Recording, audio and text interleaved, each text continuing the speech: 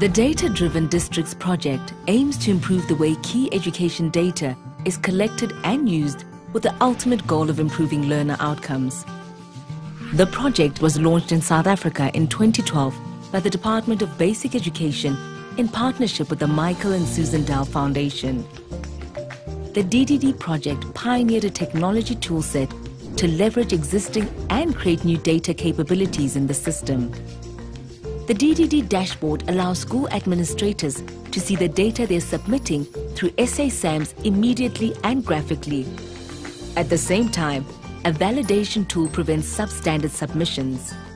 The combination of stricter submission controls, immediate feedback, and measured and reported data scores has given administrators renewed ownership of their own data.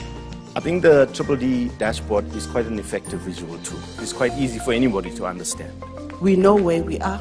We know how our learners are performing. We know how our teachers are performing. So we are quite excited. I'm quite excited about using the data.